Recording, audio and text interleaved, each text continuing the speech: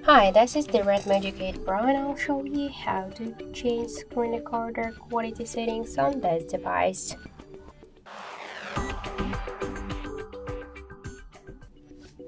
So open first the control panel and find here the record icon. Hold it for a while and just click to the uh, settings. If you wanna use here sound, now we have selected the known, we could use your system sounds. For example, they sounds like music, or uh, just uh, ringtones. And also we could use the microphone just to comment something.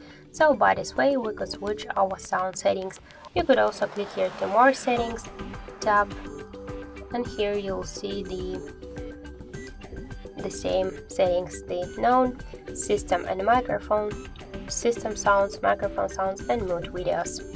So that's it, thank you for watching and if you like this video, leave thumbs up and subscribe.